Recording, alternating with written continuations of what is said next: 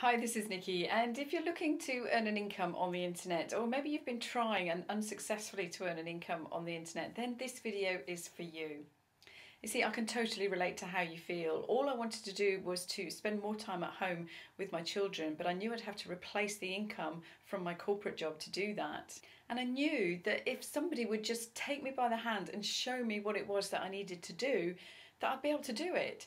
But I got confused and overwhelmed with all the amount of information that's out there, which is great to have so much information, but it's very confusing when you're first getting started and it's it's just hard to know which direction to take.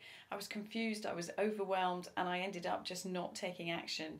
And I spent thousands of dollars in the process too for very little results. And that's why I'm so excited by what I've got for you over on the next page because what I've got for you is a 14 day step by step coaching program done by my eight figure mentor.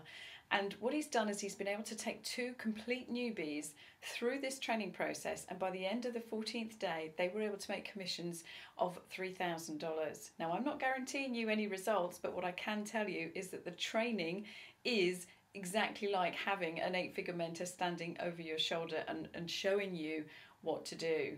So not only are you going to learn how to make your first commission online, but you're also going to be able to learn how to apply that to any business model that you're running online. And then we're going to show you how to scale and leverage that so that you then have that ability to create income at will. And that's what's going to give you the lifestyle and the time back into your life.